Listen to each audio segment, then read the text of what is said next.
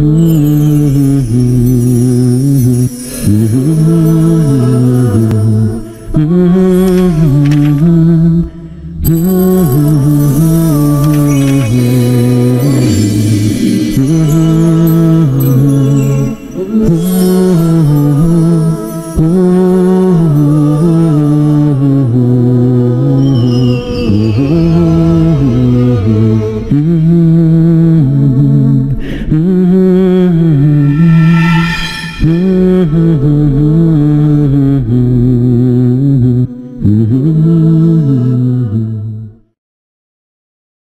अल्लाम वरहमतुल्लाहि वबरकातुह अल्हम्दुलिल्लाहि रब्बिल आलमीन वस्सलातु वस्सलामु अला रसूलिहिल करीम व अला आलिहि व सहबिहि अजमाइन व मन तबिअहु बि इहसानिन इला यौमिद्दीन अम्मा बाद हम इससे पहले मसादिर इस्लाम के हवाले से बात कर रहे थे कि कुरान करीम, अहादीस, उसकी अहमियत क्या है, दीन समझने में इनको समझना कितना ज़्यादा ज़रूरी है।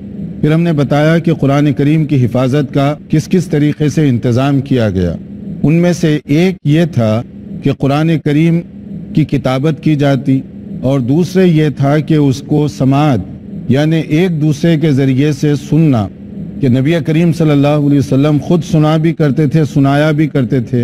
बाद सहाबाए किराम भी सुना और सुनाया करते, ताकि तिलावत, अदायगी सारी चीज़ें महफूज रहें। उसके बाद में बात आ रही है किताबत की, कि बाद सहाबा जो लिखना जानते थे, मक्का मुकरमा में वो किस तरीके से लिखा करते थे?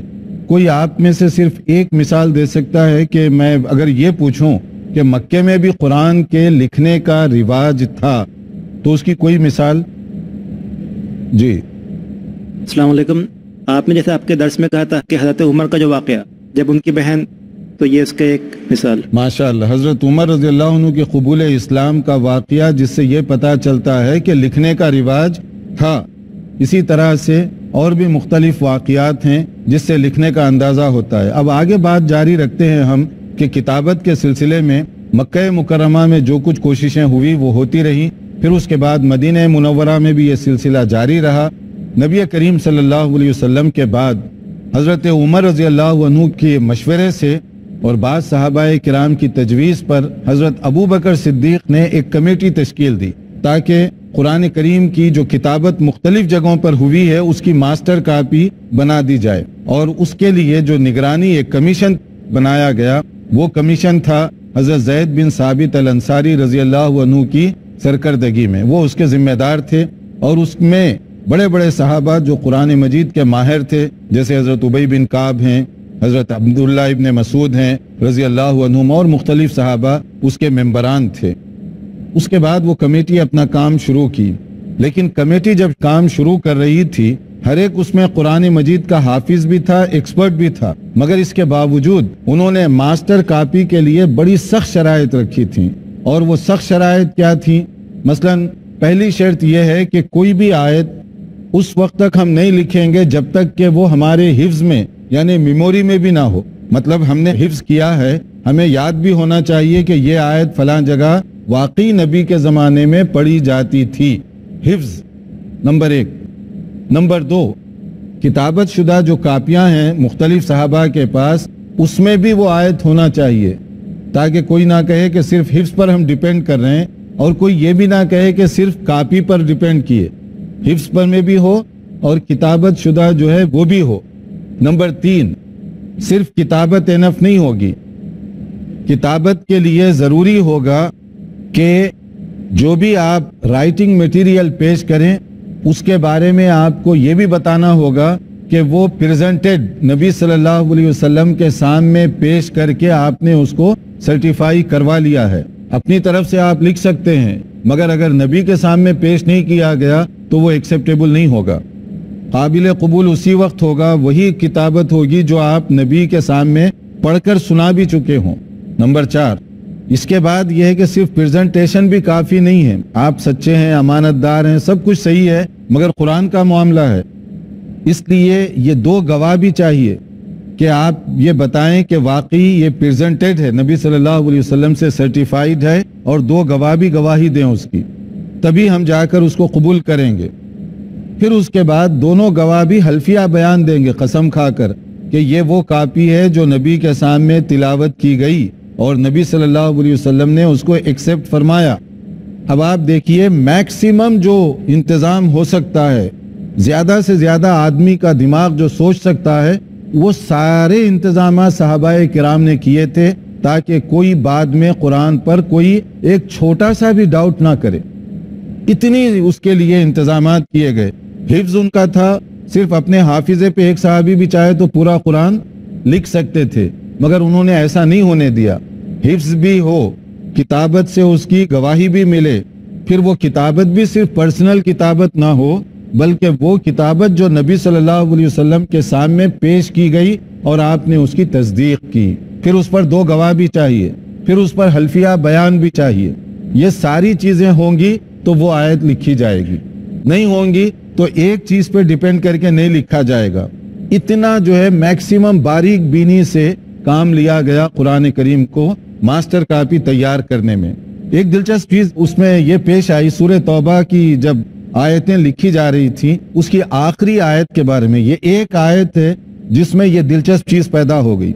एक सहाबी हैं, हज़रत खुजैमा अल अंसारी रज़ी अल्लाह तु बड़े मशहूर सहाबी हैं। नबी करीम सल्लल्लाहु अलैहि वसल्लम ने इनके बारे में एक मौके पर फरमाया था कि तुम्हारी गवाही दो आदमियों के बराबर होगी। कोई काम उन्होंने किया, आप उनके किसी अदा से नबी सल्लल्लाहु अलैहि वसल्लम खुश हुए और एक मरतबा आपने ये उनके लिए फरमाया था। अब जब ये कमेटी कुरान लिख रही थी तो सूर्य तौबा की जो आखिरी आयत लिखने की बारी आई तो वहाँ सारी शराइत पूरी हो गई। हाफिजे में सबके है, किताबत भी है, प्रेजेंटेड भी है कसम भी खाई जा रही है, मगर उसमें प्लस ये भी था कि दो गवाहों के सामने सर्टिफाई हुआ हो, नुस्खा। तो अब उसमें एक गवाह मिले, दूसरे गवाह नहीं मिले, बाकी चीज़ें पूरी हैं। मगर कमेटी के चेयरमैन ने कहा कि जो क्राइटेरिया है, उसको हम लूज नहीं होने देंगे। वो भी होना चाहिए। तो अब आखिरी आयत कैसे रखेंगे? याद तो सबको है, बाकी कुरान की आयत है। लेकिन उसमें जो है, दो गवाह की भी शर्त थी। कि आपने नबी के सामने ये बात पेश की थी, दो गवाह भी लाए। अब वो दो गवाह नहीं, एक ही गवाह थे। कौन थे वो एक गवाह? हज़रत खुजैमा थे। अब देखिए, नबी का मोजिजा जो किसी वक्त आपने फरमाया था कि तुम्हारी गवाही दो के बराबर होगी, यहाँ कैसे साबित हुई? कमीशन के चेयरमैन जो हैं, उन्होंने कहा, इनके बारे में नबी ने ये फरमाया है, इनकी गवाही इक्वल टू टू गवाही से। दो गवाहों के बराबर है, लिहाजा इनका नुस्खा लिया जा सकता है। इस एक आयत को छोड़कर पूरे कुरान करीम में कोई ऐसी आयत नहीं है जिसमें वो क्राइटेरिया पूरा मेंटेन ना हुआ हो। इतनी सख्त शरायत के साथ वो सारी चीज़ें रखी गई। सिर्फ़ लिखी नहीं गई राइटिंग स्टाइल में भी एहतियात की गई। राइटिंग स्टाइल में, जैसे सूर्य बकरा की एक आयत है 248 248 ताबूत। ताबूत संदोखचा जिसको हम बॉक्स कह लें, उस तरह की एक चीज़। ताबूत के लिखने का जो इमला है, उसके जो अल्फ़ाबेट इस्तेमाल होते हैं, उसमें ते आखिर में आ रही है। अब उसमें मसला ये पैदा हो गया, कौन सी ते लिखें? ते दो हैं, एक ताए तानीस है फीमेल के लिए, और एक जो ता है, हा की जगह जैसे उसको लिखा जाता है। तो अब ये क्वेश्चन हुआ कि यहाँ पर हम कौन सी ते लिखेंगे? उसमें हज़रत जैद जो चेयरमैन है कमीशन के उन्होंने कहा, नबी सल्लल्लाहु अलैहि वसल्लम के ज़माने में अरबों का जो तरीका था, यानी कुरैश का जो लिखने का तरीका था, वो ते को लंबी ते से लिखा करते थे। लिहाजा, कुरान करीम की किताबत में हम वही ते इस्तेमाल करेंगे। इसमें पॉइंट समझने का ये कि सिर्फ़ आयात नहीं, उसके लिखने के स्टाइल को तक जो है महफूज कर दिया गया। लिखने का स्टाइल हालाँकि वो किसी और तरीके से भी लिखे, कोई बहुत फ़र्क नहीं पड़ता। मगर साहबाए कराम ने उसके अंदर जो उसूल अपनाया, वो इतना परफेक्ट था कि उसमें जरा बराबर कमी और कोताही हम नहीं होने देंगे। ये उनका अंदाज था। इस तरह से पूरा कुरान तैयार कर दिया गया। उसकी मास्टर कापी तैयार हो गई। जिस वक्त हज़रत अबू बकर मौजूद, हज़रत उमर मौजूद, हज़रत अली, हज़रत उस्मान रज़ी अल्लाह बड़े बड़े सहाबा मौजूद थे और इसी तरह से वो कमेटी के बड़े एक्सपर्ट माहरीन ने जो सख्त शराइत के साथ उसको लिखा, मास्टर कापी उसकी तैयार कर दी गई। अब मास्टर कापी तैयार करने के बाद ये हुआ, हज़रत उस्मान रज़ी अल्लाह तु के ज़माने में। ये तीसरा स्टेप आ रहा है किताबत हो गई नबी के ज़माने में। हज़रत अबू बकर के ज़माने में मास्टर कापी तैयार हो गई। स्टेप नंबर तीन, हज़रत उस्मान रज़ी अल्लाह तु के ज़माने में इस्लामी हदूद बहुत फैल गए। इस्लामी रियासत बाउंड्रीज बहुत फैल गए। अब वहाँ तक कुरान को भेजना था। तो हमारे पास तो एक ही मास्टर कापी है। तो उसके बाद उसकी कापियाँ बनाई गई। और पहले मरहले पर सात कापियाँ उसकी बनाई गई। मास्टर कापी से। और कापियाँ बनाने की ड्यूटी किसकी थी? वही साहबी की जो मास्टर कापी तैयार करने के चेयरमैन थे। उन्हीं को फिर अपॉइंट किया गया कि इसकी कापी बनानी है, वो कापी तैयार करो। तो सात कापियाँ बन गई। जब एक कापी तैयार हो गई उसकी क्योंकि हाथ से लिखने का मसला होता था जीरोक्स तो था नहीं उस जमाने में। ना वो प्रिंटिंग कोई ऐसे मटेरियल था। तो हाथ से लिखते वक्त कहीं गलती ना हो जाए। या बाद में कोई ये ना कहे कि ओरिजिनल तो ठीक है, लेकिन कापी जो भेजी गई उसमें गड़बड़ हो गई। हो सकता है ना? तो इसके लिए उन्होंने क्या किया? जब कापी तैयार होती, मदीने में, मस्जिद नबवी में उसकी पूरी तिलावत होती थी, ताकि मेक श्योर कर लें कि वो कापी जो तैयार हुई, वो ट्रू कापी है किसकी? मास्टर कापी की। हालाँकि लिखने वाले वही साहबी जिन्होंने मास्टर कापी तैयार की मगर फिर भी हिफाजत से। अब वो कापी जो मुख्तलिफ़ जगहों पर फैलाई गई थी, ये अल्लाह ताला का फजलो करम है कि आज भी इस वक्त उसकी एक दो नहीं बल्कि तीन कापियाँ दुनिया में अभी भी मौजूद हैं। यानी कुरान करीम जो उस वक्त तैयार किया गया, उसकी कापियाँ जो फैलाई गई, आज भी मौजूद हैं। कहाँ कहाँ मौजूद हैं? इसके लिए इंतज़ार कीजिए। थोड़े से ब्रेक के बाद हम हाजिर होंगे। और उसके बाद बताएँगे कि वो कापियाँ आप कहाँ से तलाश करेंगे। वक्फे के बाद दोबारा आपकी खिदमत में हाजिर हैं। वक्फे से पहले हम बता रहे थे कि जो मास्टर कापी उसके ज़रिए से मुख्तलिफ़ कापियाँ तैयार की गई और मुख्तलिफ़ जगहों पर भेजी गई, हज़रत उस्मान रज़ी अल्लाह के ज़माने में, अल्हम्दुलिल्लाह उसकी कुछ कापियाँ अभी भी मौजूद हैं।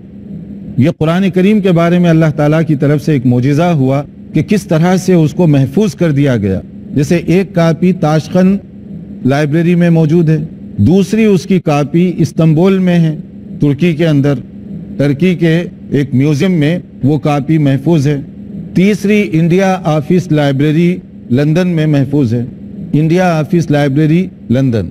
तो इस तरह से ताशखन इस्तंबुल और लंदन, इसमें वो कापियाँ महफूज हैं, क्योंकि मुख्तलिफ़ अवकात में हुकूमतें बदलती रहीं कभी वो कापियाँ इधर गईं, कभी उधर गईं बिल आखिर वो आखिर में जहाँ आकर अब रुकी हुई हैं, वो इन तीन जगहों पर जिनकी बाकायदा तहकीक की गई। ये फर्जी बात नहीं है कि वैसे ही कापी पहुँच गई, उसकी बाकायदा रिकॉर्ड चेक किया गया, उसका मटेरियल चेक किया गया और उसके राइटिंग स्टाइल को देखा गया। सारी चीज़ों के बाद ये कंफर्म हुआ कि वो वही कापियाँ हैं जो हज़रत उस्मान रज़ी अल्लाह के जमाने में तैयार की गई थी। इसके लिए आप देखिए, जर्मनी में म्यूनिक यूनिवर्सिटी का एक डिपार्टमेंट कायम किया गया था। ये मुसलमानों की बात नहीं है। हम गैर मुस्लिमों की बात बता रहे हैं ताकि रेफरेंस आपको समझ में आए। म्यूनिक यूनिवर्सिटी का एक डिपार्टमेंट, कुरान करीम का डिपार्टमेंट कायम किया गया। मकसद उनका कोई ज़ाहिर है? नेक तो नहीं हो सकता। वो ये चाहते थे कि ये मालूम करें, कुरान में कहाँ कहाँ कंट्रोडिक्शन है कन्फ्लिक्ट है, या कहाँ कहाँ गड़बड़ हो गई है। इसके लिए इस डिपार्टमेंट की तरफ़ से उन्होंने मुख्तलिफ़ जगह जो जो कुरान के नुस्खे प्रिंटेड या हाथ से लिखे हुए जो जो जहाँ जहाँ से मिल सकते थे, वो जमा किए। मुख्तलिफ़ अवकात में जो लिखे गए थे, और कुल कितने जमा किए? Forty two thousand. बयालीस हज़ार मुख्तलिफ़ कुरान मजीद की कापियाँ जमा की गई। कोई अरब से छपी है, कोई इंडिया से छपी है, कोई किसी और जगह से छपी हुई है, कोई हाथ की लिखी हुई है, मुख्तलिफ़ किस्म के। 42,000 नुस्खे जमा किए और उसके बाद उसकी तहकीक शुरू की उस डिपार्टमेंट की तरफ़ से। ये ओरेंटियलिस्ट डिपार्टमेंट था यानी गैर मुस्लिम जो इस्लामिक स्टडीज़ में दिलचस्पी रखते हैं ये उनका डिपार्टमेंट है। तो उन्होंने उसकी तहकीक करने के बाद 1933 में 1933 इसमें उनकी एक रिपोर्ट शाये हुई। और जो रिपोर्ट उन्होंने शाये की बहुत इंटरेस्टिंग बात उन्होंने वो रिपोर्ट शाये की और कहा कि अभी तक जितना हमने रिसर्च किया है इतनी मुख्तलिफ़ कापियों में कोई किसी के बारे में हम ये नहीं कह सकते कि इसमें तब्दीली है या इसमें एक चीज़ है जो दूसरे कुरान में नहीं है या दूसरी कापी में कोई चीज़ है जो पहली में नहीं है। हम नहीं कह सकते इस तरह। ज़्यादा से ज़्यादा हमें जो मिला है अभी तक मैक्सिमम उनकी गवाही। ज़्यादा से ज़्यादा जो हमें मिला है कभी कभी वो राइटिंग में जो है ना, थोड़ा सा वो स्पेलिंग मिस्टेक जैसे जिसको आप कहते हैं, हाथ से जब लिखते हैं और खास तौर पे कुछ लोग कैलीग्राफी करते थे खत्तात वगैरह। तो उसमें कभी कभी हमें लग रहा है कि वो स्पेलिंग मिस्टेक हो गई लेकिन इसके अलावा कोई आयात मिस हो गए कोई आयात ज़्यादा है इस तरह की 42,000 की रिसर्च में हमें कुछ नहीं मिला। ये उनकी गवाही है लेकिन सेकेंड वर्ल्ड वॉर के बाद वो डिपार्टमेंट पूरे का पूरा बम की नज़र हो गया।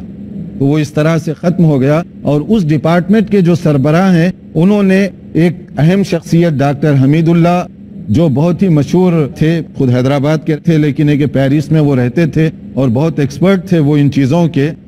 उनसे उन्होंने मुलाकात भी की थी। वो डिपार्टमेंट के जो सरबरा हैं, उसके बारे में उन्होंने भी अपना बहुत ज़्यादा आर्टिकल वगैरह भी लिखा है। तो बहरहाल, ये सारी गुफ्तगु से हम ये बताना चाहते हैं कि कुरान करीम की जो किताबत हुई है, वो किस तरीके से सेफ़ और महफूज है और कहाँ कहाँ अल्लाह ताला ने उसके नुस्खों को पहुँचा दिया है। इसके अलावा एक और चीज़ जो कुरान करीम की हिफाजत का ज़रिया बनी, वो हिफ्ज कुरान है। Memorization of Quran memorization of Quran हमारी दीनी ज़रूरत है। नंबर वन जो सबसे पहले नबी करीम सल्लल्लाहु अलैहि वसल्लम खुद याद किया करते थे, जैसे ही हज़रत जब्राइल वही लेकर आते, अल्लाह की तरफ़ से ये खास आपके लिए इंतज़ाम किया गया था, आपको वो चीज़ हिफ्ज हो जाती थी, जिसकी कुरान ने गवाही दी। फिर उसके बाद साहबा किराम उसको याद करते थे और याद करना हमारी ज़रूरत है। क्यों ज़रूरत है? हम नमाज़ पढ़ेंगे तो कुछ ना कुछ कुरान पढ़ना पड़ेगा। जहाँ दुनिया में मुसलमान होगा, उसको पूरा या ए पोर्शन, एक जुज कुरान का कुछ ना कुछ तो याद होगा। इसके बगैर वो नमाज़ नहीं पढ़ सकता। तो नमाज़ पढ़ने के लिए ज़रूरत है कि हम कुरान को याद करें। इसका नतीजा ये हुआ, हर जमाने में हज़ारों की तादाद में लोग हिफ्ज कुरान कर चुके थे। मर्दों में, औरतों में, बच्चों में ये एक मोजिज़ा है कि एक ऐसा आदमी जो अरबी जबान नहीं जानता, मगर वो भी कुरान को याद कर सकता है। अब इंडिया की जबान अरबी नहीं है, इंग्लैंड की जबान अरबी नहीं है, मगर वहाँ पैदा हुआ बच्चा दस साल उसकी उम्र है मसलन, और वो कुरान को ऐसे पढ़ रहा है जबानी, अगर आप उसका फेस ना देखें तो आपको फ़र्क नहीं मालूम होगा कि यह अरब बैकग्राउंड का बच्चा है या इंडियन बैकग्राउंड का। अब वो बच्चा जिसकी जबान अरबी नहीं है, कुरान कैसे याद कर रहा है वो? अल्लाह ने कुरान को आसान बनाया हिफ्स के लिए। इसलिए जिसकी जबान अरबी नहीं है, वो भी याद कर सकता है। जिसकी यह मिसाल आप देख सकते हैं, एक दो नहीं, हज़ारों की तादाद में। अफ्रीका से बाज ऐसे लड़के आते हैं, मक्का मुकरमा के अंदर इंटरनेशनल कुरान हिफ्स का मुकाबला होता है। मुसाबकतुल कुरान करीम। बाज अफ्रीका के आने वाले पूरी दुनिया को बीट कर देते हैं वो। कैंडिडेट जिनकी जबान अरबी नहीं, इतनी अरबी भी उनको नहीं आती कि जब एग्जामिनर उनसे पूछता है कि फला जगह से पढ़ो, ये लफ्ज भी अरबी में नहीं समझ में आता उनको। उस लफ्ज के तर्जुमे के लिए ट्रांसलेटर की ज़रूरत पड़ती है। और जब वो उसको बता दिया जाए, फला जगह से आपको कहा जा रहा है पढ़ो, जब वो पढ़ना शुरू करता है, फिर पता नहीं चलता कि ये गैर अरबी लड़का है। कोई दुनिया की ऐसी किताब हो सकती है जिसकी जबान आप ना जानते हो, लेकिन आप उसको इतना बेहतरीन तरीके से हिफ्ज भी करें और पढ़ भी सकें। कोई ऐसी एग्ज़ाम्पल दुनिया में दिया जा सकती है? हज़ारों की तादाद में, हर जमाने में ऐसे रहे हैं, क्योंकि ये हमारी दीनी ज़रूरत है। इसलिए लोग उसको याद भी करते हैं। अगर प्रिंटेड कुरान के नुस्खे दुनिया में ना भी हो, फिर भी कुरान मजीद खत्म नहीं हो सकता। क्यों नहीं हो सकता? हज़ारों लोग जबानी याद रखे हुए हैं। उसकी मिसाल रमज़ान में आपने देखा होगा किराम पूरा पूरा कुरान करीम सुनाते हैं। अल्लाह ने उसकी हिफाजत का कैसे इंतज़ाम फरमाया? और कभी इत्तेफाक से एक्सीडेंटली बाई चांस डिलिबरेटली नहीं, जानकर नहीं एक्सीडेंटली अगर कोई शख्स पढ़ते हुए एक लफ्ज की, एक लफ्ज की सिर्फ़ गलती करे तो क्या होता है? पीछे ठहरने वाले करेक्शन करते हैं कि नहीं करते? बल्कि कितने लोग बैक वक्त बोलने की कोशिश करते हैं? यानी एक लफ्ज जो एक्सीडेंटली वो गलती कर दे बर्दाश्त नहीं किया जाता कि कुरान में एक लफ्ज की कमी बेशी नहीं हो सकती, अनजाने में भी नहीं हो सकती। अल्लाह ने कैसे उसको महफूज फरमाया है? और इसी तरह अब हम बताएँगे कि कुरान करीम को हिफ्स के अलावा किस तरीके से उसकी जबान, जैसे बात आई, अल्लाह ताला ने उसकी जबान को भी महफूज रखा है। कैसे रखा है? देखते रहिए हमारा प्रोग्राम। इन ताला आइंदा क्लास में उसको हम जारी रखेंगे। मगर उससे पहले आपके अगर सवाल हों। अलैक्म। मेरा सवाल इस बारे में है कि बाज़ लोगों ने कहा है कि कुरान नबी सल्लल्लाहु अलैहि वसल्लम के दौर में मुतवन हो चुका था पूरी तरह, तैयार हो चुका था। इब्न अब्बास की कोई रिवायत वो पेश करते हैं कि नबी वसल्लम ने दो दफ्तियों के दरमियान हमें कुरान पूरा मुकम्मल तरतीब के साथ दिया है। और ये जो इन चीज़ों को इनकार करते हैं कि जैद बिन साबित से जमा किया गया, उबई बिन काब से जमा किया गया, कहते हैं इन रिवायतों में बहुत कॉन्ट्रडिक्शन है, तजाद है। और इसमें जैसा कि एक आयत है, हज़रत उमर फारूक एक आयत लेकर आए। आपने सुने अशेख व शेख तो इदाजन या फला। तो एक और उसका गवाह मिल नहीं सका। तो आयत कबूल नहीं की उस कमेटी ने। तो कहते कि ऐसा कैसा हो सकता है कि एक आयत कुरान में शामिल ना हो? और नबी की ज़िम्मेदारी है कि कुरान जब उस पर उतरे तो पूरी तरह उम्मत को महफूज हाथों में देकर जाए। तो नबी वसल्लम के ज़माने में कुरान महफूज हो चुका था और उम्मत को पूरी तरह नबी ने मुंतकिल उसको कर दिया। तो इस बारे में माशाल्लाह।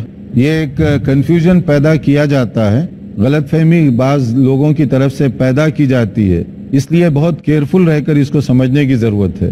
हज़रत जैद के सरबराही में जो कमीशन बनाया गया, उस कमीशन का मकसद ये नहीं था कि कोई नया कुरान प्रिंट करे या नया कुरान तरतीब दे।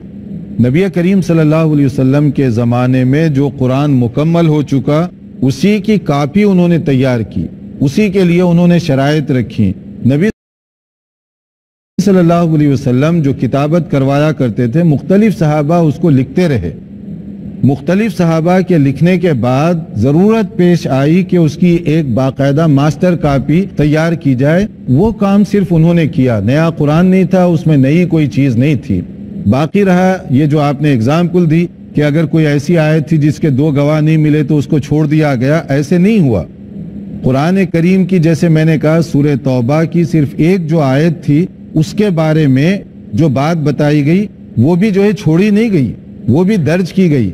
अलबत् अगर कोई ऐसी चीज़ थी जो नबी करीम सल्लल्लाहु अलैहि वसल्लम ने खुद उसको नहीं शामिल किया या उसको नहीं रखा तो वही चीज़ को निकाला गया। ये मुमकिन नहीं है कि नबी सल्लल्लाहु अलैहि वसल्लम किसी चीज़ को रखें और बाद में किसी सहाबी के अंदर ये हिम्मत हो कि वो उसको निकाल दे। ऐसा तो नहीं हो सकता था। अगर वो सहाबा जिन्होंने स्पेलिंग के अंदर भी इस बात का ख्याल रखा कि सिर्फ़ नबी सल्लल्लाहु अलैहि वसल्लम के ज़माने में जो तरीका राइज था स्पेलिंग भी हम वैसे ही करेंगे। तो क्या यह मुमकिन है कि उन लोगों से जो स्पेलिंग पर भी वो शर्त रखें, कोई आयत को आगे पीछे कर दें? ऐसे नहीं हुआ। ये जो है, बाज अवकात कंफ्यूजन पैदा करने के लिए इस तरह की बातें की गई हैं। और कोई? जी। आपका क्वेश्चन अस्सलाम जैसा कि कुरान की एक आयत है कि उसमें अल्लाह कह रहे हैं कि जब कभी भी हम कोई आयत मनसूख करते हैं तो उसकी जगह पर हम कोई और आयत ला देते हैं। तो जो लोग इस्लाम के खिलाफ लिखते हैं तो वो लोग ये क्वेश्चन करते हैं कि अल्लाह ताला को अपनी राय चेंज करने की क्या ज़रूरत महसूस हुई माशाल्लाह, बहुत अच्छा सवाल है कि अल्लाह को अपनी राय बदलने की क्यों ज़रूरत पेश आई? देखिए मेरे भाई, अल्लाह ताला को ये ज़रूरत नहीं है, ये ज़रूरत मेरी और आपकी है। अल्लाह ने रहम फरमाया है कि हमारी जो ज़रूरत है उसके मुताबिक हमें चीज़ें दी जाएँ। वो कैसे हैं? ये नासिक और मनसूख एक अतलाह है टर्मिनोलॉजी उस पर हम इंशाअल्लाह ताला आगे उस पर बात करेंगे कि उसकी ज़रूरत क्यों पेश आई। हमारी मजबूरियों की वजह से। अल्लाह को कोई मजबूरी नहीं थी। नाजरीन, यहाँ वक्त पूरा हो चुका है, अभी बातें बहुत हैं। इसलिए हम अगली क्लास में इंशाअल्लाह ताला बाकी जो चीज़ें उसका तकमीला करेंगे इंतज़ार कीजिए अगली क्लास का